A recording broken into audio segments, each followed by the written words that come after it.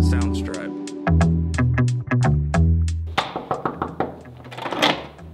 Hey, can we come in? Yes. Why don't you guys just show us around your room? Okay.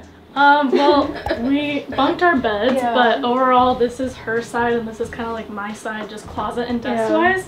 So that's her closet, and this is mine. Mhm. Um, we each have our little like storage Yeah. things on each end, and yeah, just like necessities, like just little like food and like cold stuff.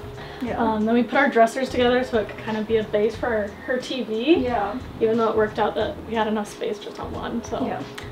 pretty much that. And we have our mini fridge here, which I've I've sort of decorated the sides with stickers, and we're working on the magnets on the front. Yeah. we haven't gotten there yet. Yeah.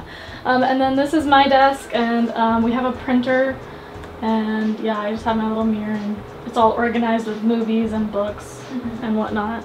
And then there's your desk, My because on her side there. Yeah.